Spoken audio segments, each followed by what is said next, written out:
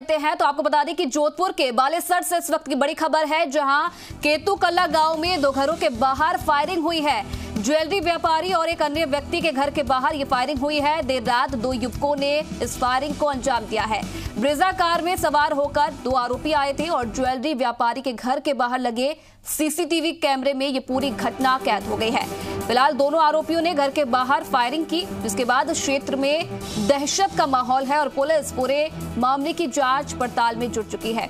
मौके का वीडियो आप देख सकते हैं। ये पूरी घटना सीसीटीवी कैमरे में कैद हो गई। किस तरीके से? जो ये दो युवक है, बाइक पर आते हैं और उसके बाद जो ज्वेलरी व्यापारी है, उसके घर के बाहर हवाई फायरिंग करते हैं।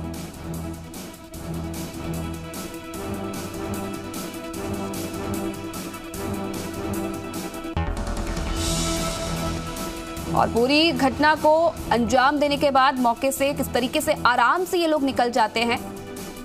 और आपको बता दें कि इस पूरी घटना के बाद जो क्षेत्र है, उसमें दहशत का माहौल है और लेकिन पुलिस फ़िलहाल इस पूरे मामले की जाँच पड़ताल में जुट चुकी है। केतु कला गाँव में ये पूरी इस घटना को अंजाम दिया गया है।